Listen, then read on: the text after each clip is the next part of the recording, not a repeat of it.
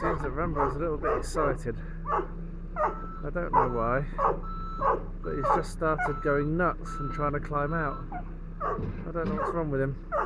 I hope he doesn't hurt himself. Right, better go and calm him down.